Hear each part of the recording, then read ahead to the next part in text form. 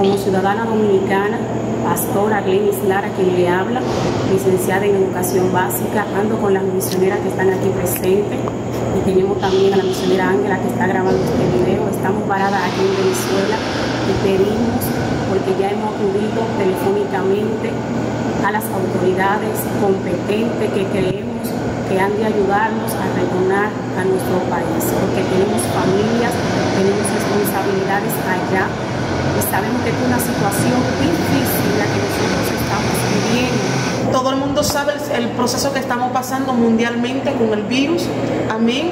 Y nosotros eh, nos agarró la cuarentena aquí y estamos eh, esperando la asistencia de nuestro, de nuestro país. Estamos aquí en el aeropuerto internacional de Venezuela, que vinimos a quedarnos hasta que no nos vengan a buscar, porque no podemos retroceder atrás.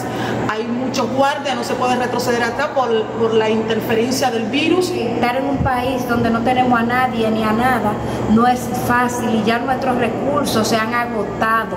Es una urgencia, no podemos salir del aeropuerto por la razón que si salimos no podemos entrar y tampoco tenemos recursos para estar entrando y saliendo. Dios le bendiga y Dios le guarde. Espero que este video sea de gran edificación para todos.